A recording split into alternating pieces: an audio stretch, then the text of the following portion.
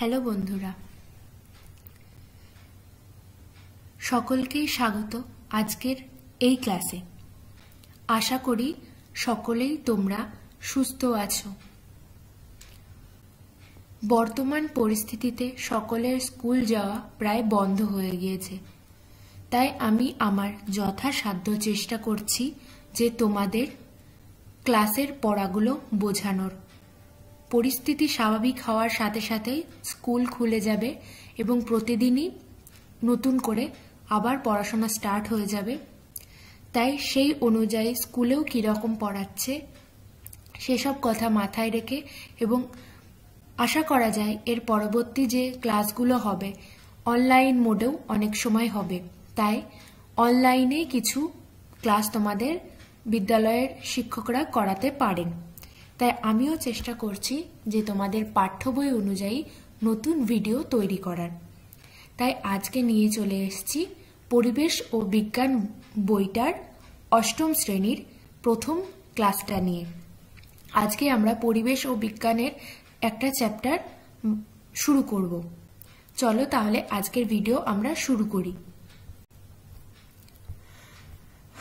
তার আগে আমরা দেখব বিজ্ঞান বইয়ের সিলেবাসটা কি আছে?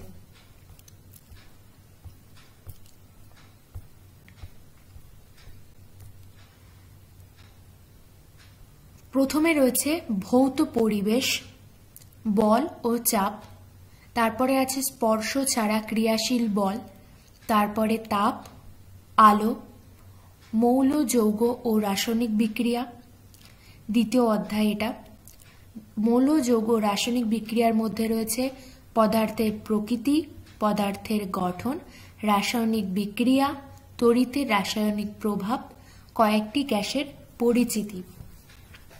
চার নম্বর অধ্যায়ে রয়েছে কার্বন ও কার্বন ঘটিত যৌগ। তারপরে পাঁচ নম্বরে রয়েছে প্রাকৃতিক ঘটনা ও তার বিশ্লেষণ।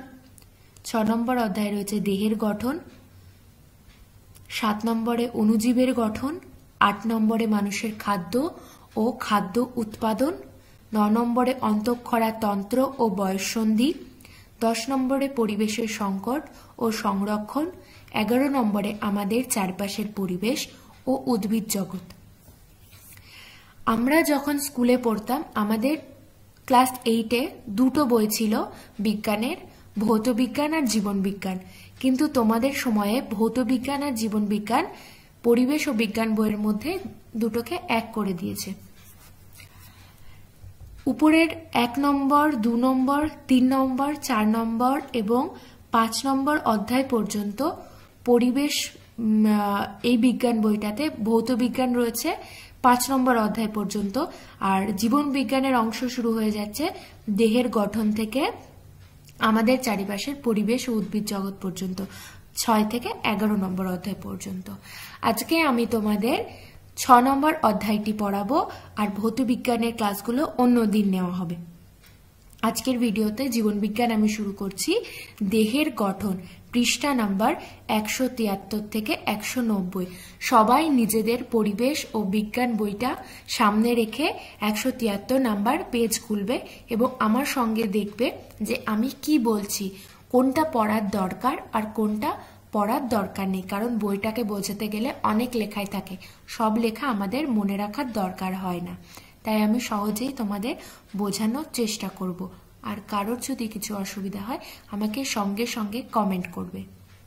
ঠিক আছে? আর যদি ভালো লাগে, অবশ্যই লাইক করবে এবং বন্ধুদের সাথে শেয়ার করবে। চলো, আজকে একশো তিয়াত্তর নাম্বার পেজ আমরা খুলি।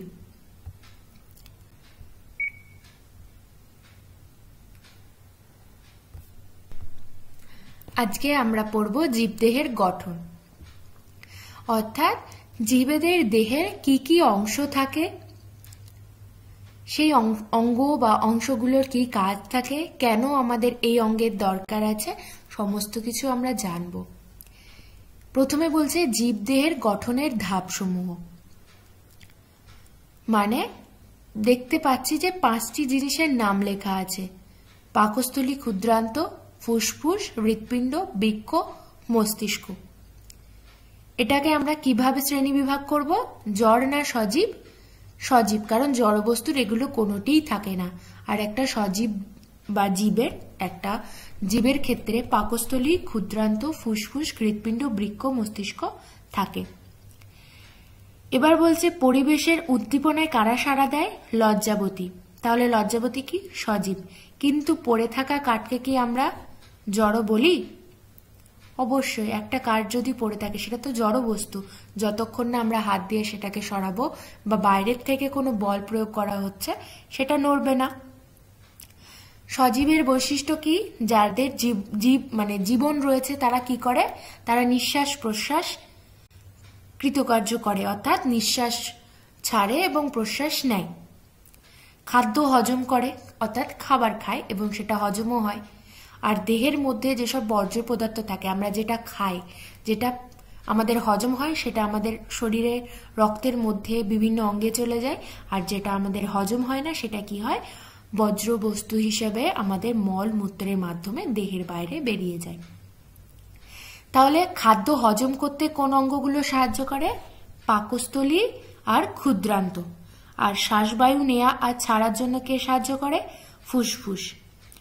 রক্তের দেহের দূরত্বতম প্রান্তে পৌঁছে দেওয়ার জন্য কে সাহায্য করে? হৃৎপিণ্ড। অর্থাৎ হৃৎপিণ্ড রক্তকে দেহের সারা অংশে ছড়িয়ে দেয়, আবার দেহের বিভিন্ন অংশ থেকে হৃৎপিণ্ডের মধ্যে নিয়ে নেয়। মানে পায়ের আঙুল থেকে শুরু করে মাথার শিরা পর্যন্ত হৃৎপিণ্ড সব জায়গায় রক্ত ছাড়েও, প্লাস আবার নিয়েও নেয়। সবাইকে দেয়, আবার নেয়। তারপরে আসছে বৃক্ষ। দেহের বজ্রকে মূত্রের মাধ্যমে বের করে দেওয়া হলো বৃক্ষের কাজ। তাহলে বৃক্ষ কি করে? মূত্র তৈরি করে। দেহের যে সকল বজ্র পদার্থ আমাদের হজম হয় না, যেগুলো লিকুইড ফর্মে অর্থাৎ তরল পদার্থের অবস্থায়, পরিস্থিতিতে আছে, তা সেগুলো মূত্রের মাধ্যমে বেরিয়ে যায়। উদ্দীপনা গ্রহণ ও তাকে উত্তেজনায় রূপান্তরের জন্য কে কাজ করে? মস্তিষ্ক। তাহলে উদ্দীপনা গ্রহণ আর রূপান্তর মানে আমাদের যদি একটা কাঁটা ফুটে যায়, হাতে বা পায়ে, তাহলে আমরা সেটা সবার প্রথমে কাঁটাটা ফুটলেই আমরা আহ করে চেঁচিয়ে উঠি, অথবা হাত পা সরিয়ে নিই যে জায়গায় কাঁটাটা ফোটে। সেটা কেন হয়? যখনই কাঁটাটা ফোটে, তখন আমাদের যে নার্ভগুলো, নিউরনগুলো রয়েছে, সেটা সঙ্গে সঙ্গে মস্তিষ্কে গিয়ে বেলটা বাজায় যে আমার পায়ে কাঁটা ফুটলো। তখন মস্তিষ্ক তাকে পারমিশন দেয় যে হ্যাঁ কাঁটা ফুটেছে, তুমি এবার চেঁচাও। তখন মস্তিষ্কের পারমিশনের ফলে সে তার পা সরিয়ে নিতে পারে, অথবা হাত সরিয়ে নিতে পারে। অথবা সে চেঁচিয়ে ওঠে। তাহলে এই কাজটা একমাত্র মস্তিষ্ক যখন অর্ডার করবে, তখনই সেটা হয়। কিন্তু সেটা অনেক কম সময়ের মধ্যে হয়, যেটা আমরা বুঝতে পারি না। কিন্তু পরীক্ষা নিরীক্ষার মাধ্যমে এগুলো দেখা হয়েছে। এই সকল অঙ্গে কি এমন থাকে যা ওই অঙ্গের বিশেষ গঠনে ও কাজে সাহায্য করে? এবার আমরা দেখব যে পাকস্থলী ক্ষুদ্রান্তে কি এমন আছে, যে তারা খাদ্য হজম করে। আর ফুসফুসের মধ্যেই কি এমন আছে যে তারা বায়ুগুলো নিতেও পারে, আবার ছেড়ে দিতেও পারে নিঃশ্বাস প্রশ্বাসের মাধ্যমে? আর হৃৎপিণ্ডই বা কি কাজ করে? যে কি এমন তার যন্ত্র হৃৎপিণ্ডের মধ্যে আছে যে সে রক্তকে আবার সারা বডি থেকে টেনেও নেয়, আবার ছেড়েও দিতে পারে? বৃক্ষের মধ্যে কি কি আছে যে সেই মূত্রে মানে দেহের বজ্র পদার্থকে ফিল্টার করতে পারে, যার মাধ্যমে মূত্র হিসেবে বেরিয়ে যায়? তরল পদার্থ হিসেবে, কঠিন পদার্থ কেন বেরোয় না?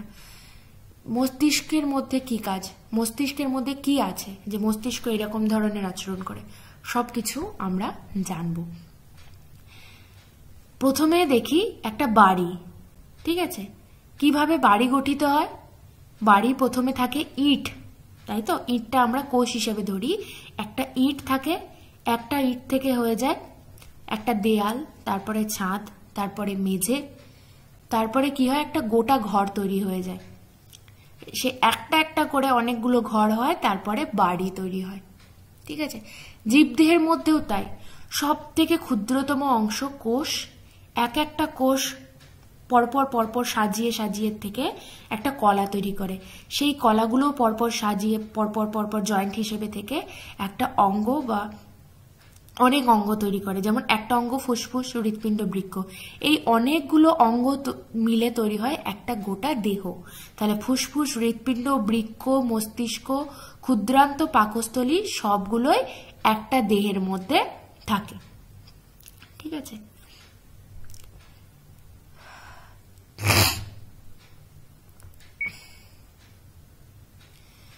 কোনো জীবের গঠনগত ও কার্যগত, ক্ষুদ্রতম একক হলো কোষ। তাহলে আমরা কোষ কাকে বলব? জীবের গঠনগত ও কার্যগত, ক্ষুদ্রতম এককে কোষ বলব। মানে গঠনের ক্ষেত্রে এবং কার্যের ক্ষেত্রেও ক্ষুদ্র। সব থেকে ক্ষুদ্র কি? একটা হলো কোষ।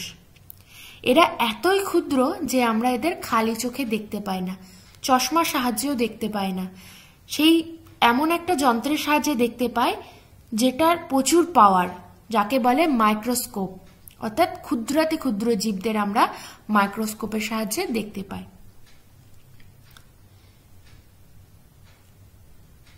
এবার আমরা জানব মাইক্রোস্কোপটা কি? কি করে মাইক্রোস্কোপের কথা জানতে পারলাম। উনিশশো পঁয়ষট্টি সরি ষোলোশো পঁয়ষট্টি খ্রিস্টাব্দে বিজ্ঞানী রবার্ট হুক গাছের কাণ্ডের ছাল নিয়ে তার একটি সূক্ষ্ম প্রস্তুচ্ছেদ তৈরি করেন। তিনি কি করেছিলেন? ষোলোশো পঁয়ষট্টি খ্রিস্টাব্দে বিজ্ঞানী রবার্ট হুক, বিজ্ঞানীর নাম হচ্ছেন রবার্ট হুক, যিনি একটা গাছের কাণ্ডের থেকে ছালটা তুলে নিলেন। তারপরে সেটাকে এত ক্ষুদ্রভাবে প্রস্তুচ্ছেদ করলেন ছালটার যে মাইক্রোস্কোপের নিচে ওই প্রস্তুচ্ছেদটা দেখার সময় মৌচাকের প্রকোষ্ঠের মধ্যে অসংখ্য কুটুরি লক্ষ্য করলেন। মানে ছালটার মধ্যে দেখলেন যে, দেখেছ মৌমাছির চাক তোমরা? যে সরভুজাকার হয়, যার মধ্যে মধু থাকে, সেরকম কুঠুরি লক্ষ্য করতে পারলেন ওই কাণ্ডের ছালে। তিনি এদের কি নাম দিলেন? সেলিউলি। সেলিউলিয়ে নাম দিলেন, যার ল্যাটিন অর্থ হলো ঘর। মানে সেলিউলির অর্থ হলো ঘর। সেলিউলিটা একটা ল্যাটিন কথা। এরপরেই তিনি সেল নাম দেন। এই ঘরটা নাম দিয়ে দেন তিনি তখন সেলিউলি থেকে সেল। ঠিক আছে? তুমি কি করে একটি কোষকে দেখতে পারো? তাহলে দরকার কি একটা মাইক্রোস্কোপ। খালি চোখে তো কোষ দেখা যাবে না। তারপরে রবার্ট হুক কর্কের পাতলা ছেদ পরীক্ষা করার সময় যে কোষগুলো লক্ষ্য করেছিলেন সেগুলি ছিল মৃত। কর্ক কোনগুলো আমরা দেখেছি বিভিন্ন কাঁচের শিশির মুখ, মুখগুলো একটা কাঠের মতো অংশ দিয়ে আটকানো থাকে। সেটাকে বলে কর্ক। সে কর্কেরও পাতলা ছেদ করলেন, যে মাইক্রোস্কোপে দেখছিলেন। তিনি দেখলেন সেই কোষগুলো ছিল মৃত, আর যেটা গাছের কাণ্ডে ছাল নিয়েছিলেন, সেটা ছিল সজীব কোষ। ষোলোশো চুয়াত্তর খ্রিস্টাব্দে ডাচ বিজ্ঞানী লিভেনহিক প্রথম সজীব কোষ পর্যবেক্ষণ করেন। তাহলে প্রথম সজীব কোষ পর্যবেক্ষণ কে করেন? লিভেনহিক কিন্তু রবার্ট হুক যখন কাণ্ডের ছাল নিয়ে তার একটি সূক্ষ্ম প্রস্তুচ্ছেদ করেছিলেন, তখন তিনি সেটা সজীব না মৃত তিনি কিছু বলেননি। তিনি মাইক্রোস্কোপের মধ্যে একটা কাণ্ড নিয়ে হয়তো কাণ্ডটা পড়েছিল বা গাছ থেকে নিয়েছিলেন, কিন্তু সজীব না মৃত তিনি কিছু বলেননি। তিনি সেটাকে নিয়ে পর্যবেক্ষণ করলেন মাইক্রোস্কোপের নিচে, দিয়ে ঘরের মতো দেখতে পেলেন বলে সেলিউলি ল্যাটিন শব্দ ঘর, তার নাম দিলেন সেল। তাহলে সেলের প্রথম আখ্যা কে দিয়েছিলেন? বিজ্ঞানী রবার্ট হুক, ষোলোশো পঁয়ষট্টি খ্রিস্টাব্দে। কিন্তু যদি বলে সজীব কোষের পর্যবেক্ষণ কে করেন? ষোলোশো চুয়াত্তর খ্রিস্টাব্দে বিজ্ঞানী লিভেন হিক সবার প্রথম সজীব কোষ পর্যবেক্ষণ করেন। তিনি মাইক্রোস্কোপের আরও উন্নতি ঘটান। তিনি অণুজীব ও রক্ত কোষও পর্যবেক্ষণ করেন। কোষের গঠনকে ভালোভাবে বুঝতে গেলে নানান রঙের রাসায়নিক পদার্থ ব্যবহার করা হয়। তিনি সজীব কোষ পর্যবেক্ষণ করে ঠিকই, কিন্তু তিনি কি করেন? ওই যে সজীব কোষের মধ্যে বিভিন্ন অংশগুলো রয়েছে, সেটা বোঝার জন্য কি করেন? বিভিন্ন রাসায়নিক পদার্থ ব্যবহার করেন, যার রং বিভিন্ন হবে। এদের রঞ্জক পদার্থ বা স্টেইন বলা হয়। ঠিক আছে? একটা রাসায়নিক পদার্থ একটা রঙের যেটাকে স্টেন বলা হয়, তিনি সেটা ওই সেল্ট মানে যে কাণ্ডটা মানে সজীব কোষটা নিয়েছিলেন, সেটার উপর দু এক ফোঁটা সেই রঞ্জক পদার্থটা দিয়ে দিলেন। দিয়ে যে যে অংশে রঙিন হওয়ার হয়ে গেল, তিনি দেখতে পেলেন যে এবার কোনটা কি অংশ। ঠিক আছে? কোষের গঠন পর্যবেক্ষণ করার জন্য প্রথম দিকে সরল আলোক অনুবীক্ষণ যন্ত্র ব্যবহার করা হতো। এতে একটি মাত্র লেন্সের সাহায্যে নেওয়া হতো। তাহলে সবার প্রথমের দিকে কিসের সাহায্যে কোষ পর্যবেক্ষণ করা হতো? সরল আলোক অনুবীক্ষণ যন্ত্র বা সিম্পল লাইট মাইক্রোস্কোপ ফুল কেটে তার অংশবিশেষ দেখার জন্য এই ধরনের অনুবীক্ষণ যন্ত্র ব্যবহার করা হতো। এটা বস্তুকে পনেরো থেকে কুড়ি গুণ বড় করে দেখাতে সক্ষম। মানে ক্ষুদ্র কোষ দেখতে পেত না, কিন্তু একটা ফুলের বিভিন্ন অংশ গর্ভমুণ্ড তারপরে হচ্ছে ফুলের পাপড়ির ভিতরে যে রেণুগুলো লেগে থাকে সেগুলো, তারপরে পরাগ ধানি, সমস্ত কিছু দেখতে সাহায্য করত। পনেরো থেকে কুড়ি গুণ মানে আতস কাজ যেমন হয় সেই রকম দেখতে সাহায্য করত। এরপরে কি এলো? সিম্পল লাইট মাইক্রোস্কোপের পর এলো। কম্পাউন্ড লাইট মাইক্রোস্কোপ অর্থাৎ যৌগিক আলোক অনুবীক্ষণ যন্ত্র। এতে কি হলো? বস্তুকে অনেক বড় করে দেখানোর জন্য বিবর্ধন ক্ষমতা সম্পন্ন একাধিক লেন্স আসলো। ব্যবহার করা হলো। সিম্পল লাইট মাইক্রোস্কোপে একটা মাত্র লেন্স দিয়ে দেখা হতো, কিন্তু যখন কম্পাউন্ড লাইট মাইক্রোস্কোপ এলো, তখন সেটাকে আরও ক্ষমতাশীল মানে ক্ষমতা সম্পন্ন করার জন্য বিভিন্ন প্রকার একাধিক লেন্স ব্যবহার করা যেত। একটা লেন্স লাগানো হতো, আবার সেটাকে খুলে অন্য লেন্স লাগানো যেত।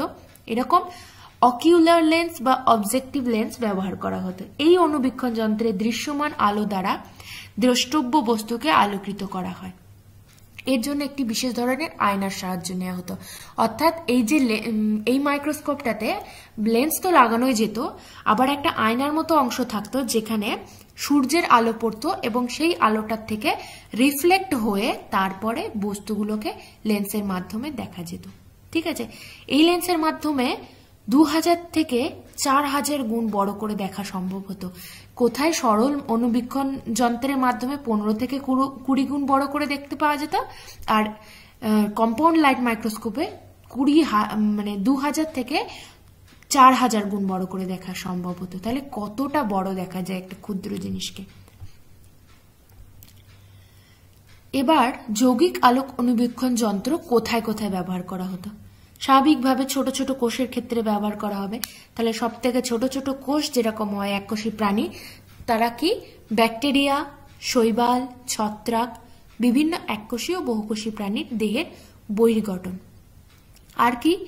মূল কাণ্ড পাতার অন্তর্গঠন। অর্থাৎ মূল কাণ্ড পাতাকে হয়তো প্রস্থচ্ছেদ বা দীর্ঘচ্ছেদ করা হলো, তাদের ভিতরে যে কলা বা কোষগুলো আছে সেগুলো দেখা যেত। জীবদেহের বিভিন্ন অঙ্গ তার প্রস্থচ্ছেদ করে তার কলার গঠন জানা যেত। অর্থাৎ একটা জীবদেহের হয়তো কেউ মেডিকেল স্টুডেন্ট যারা হয়তো পরীক্ষা নিরীক্ষা করছে, তারা কি করতো? দেহের কোনো সেল সেখান থেকে নিয়ে তার কলার গঠন বা কোষের গঠন তারা দেখতে পায় এই যন্ত্রের সাহায্যে। আর কি, কোষের ভেতরের অঙ্গাণু ও কোষের বাইরের পর্দার গঠন জানার জন্য এই কোষ ইলেকট্রন অনুবীক্ষণ যন্ত্র ব্যবহার করা হতো। মানে কম্পাউন্ড লাইট মাইক্রোস্কোপ যৌগিক আলোক অনুবীক্ষণ যন্ত্র ইলেকট্রন নয়, যৌগিক আলোক অনুবীক্ষণ যন্ত্র। তারপরে এলো ইলেকট্রন অনুবীক্ষণ যন্ত্র। তাহলে সবার প্রথমে কি ছিল? সরল আলোক অনুবীক্ষণ যন্ত্র, যার মধ্যে একটাই লেন্স থাকতো, আর সেটাকে পনেরো থেকে কুড়ি গুণ বড় করে দেখা যেত কোনো একটা জিনিসকে। আর যৌগিক আলোক অনুবীক্ষণ যন্ত্রে কি থাকতো? লেন্সগুলোকে চেঞ্জ করা দিত। অনেকগুলো লেন্স, একাধিক লেন্স ব্যবহার করা হতো। আর একটা মিরর থাকতো বা আয়না থাকতো, যেখানে সূর্যের আলো বা একটা আলো পড়তো, যার আলো রিফ্লেকশনের মাধ্যমে লেন্সের রিফ্লেক্ট হয়ে তারপরে ক্ষুদ্র জীবগুলোকে দেখা যেত। তারপরে এলো ইলেকট্রন অনুবীক্ষণ যন্ত্র। এই যন্ত্রে আলোর পরিবর্তে দ্রুত গতির ইলেকট্রন প্রবাহ দ্রষ্টব্য বস্তুর মধ্যে দিয়ে পাঠানো হয়। অর্থাৎ একটা বস্তুকে রেখে তার মধ্যে দিয়ে দ্রুত গতির ইলেকট্রন প্রবাহ চালানো করা হয়। যার ফলে এই অনুবীক্ষণ যন্ত্রে কাঁচের লেন্সের পরিবর্তে তড়িৎ চুম্বক ব্যবহার করা হয়। এক্ষেত্রে লেন্স ব্যবহার হয় না, তড়িৎ চুম্বক ব্যবহার হয়। দ্রষ্টব্য বস্তুকে এখানে পঞ্চাশ হাজার থেকে তিন লাখ পর্যন্ত গুণ বড় করে দেখা যেত। তাহলে সরল আলোক অনুবীক্ষণ যন্ত্রে পনেরো থেকে কুড়ি গুণ, যৌগিক আলোক অনুবীক্ষণ যন্ত্রে দু হাজার থেকে চার হাজার গুণ বড় করে, আর ইলেকট্রন অনুবীক্ষণ যন্ত্রে পঞ্চাশ হাজার থেকে তিন লাখ গুণ বড় করে দেখা যায় কোনো একটা জিনিসকে। এই দ্রষ্টব্য বস্তুকে দেখার জন্য ফটোগ্রাফিক ফিল্ম ব্যবহার করা হতো, অর্থাৎ মাইক্রোস্কোপের নিচে তড়িৎ ইলেকট্রন প্রবাহ তো চালনা করা হতো, কিন্তু সেটাকে চোখে না দেখে একটা স্ক্রিন বা টিভির মতো একটা কিছু ব্যবহার করা হতো, যেটা দূর থেকে দেখা সম্ভব হতো। তাহলে সবাই একসঙ্গে সেই জিনিসগুলোকে বড় করে দেখতে পেত। তাদের পরীক্ষা নিরীক্ষা করতেও অনেক সুবিধা হতো। এছাড়াও কোষের মধ্যেও অঙ্গাণুগুলো একেবারে খুঁটিয়ে খুঁটিয়ে দেখা সম্ভব হতো, যার জন্য আমরা আজ সেলকে এত সহজেই বুঝতে পারি, এত সহজেই চোখের সামনে কোষের একটা ক্ষুদ্র গঠনকে আঁকতেও পারি এবং আমরা সহজেই বুঝতে পারি এটা একটা কোষ। তাই না? আজকের ভিডিওটা এই পর্যন্তই। আজকের ভিডিওতে তোমরা মাইক্রোস্কোপ সম্পর্কে জানলে পরের দিনের ভিডিওতে আমরা আরও নতুন নতুন কিছু জানাব। পরের দিনের ভিডিওতে আমরা এর পর থেকেই আবার পড়াবো। যদি ভিডিও ভালো লেগে থাকে, তোমরা লাইক করবে। আর এক এই জিনিসগুলো আরও নতুন নতুন ভাবে জানার জন্য আমাকে কমেন্ট করবে তোমাদের কোনটায় অসুবিধা হচ্ছে, কি তোমরা জানতে চাও। আর সকলের সঙ্গে ভিডিওটা শেয়ার করবে, যাতে তোমাদের বন্ধুরাও আরও অনেক কিছু জানতে পারে, তারাও শিখতে পারে এই জিনিসগুলো কি। এবং নতুন ভিডিও যাতে আমি তোমাদের দেখাতে পারি, তার জন্য আমার চ্যানেল সাবস্ক্রাইব করবে। ধন্যবাদ এই ভিডিওটি সম্পূর্ণ দেখার জন্য।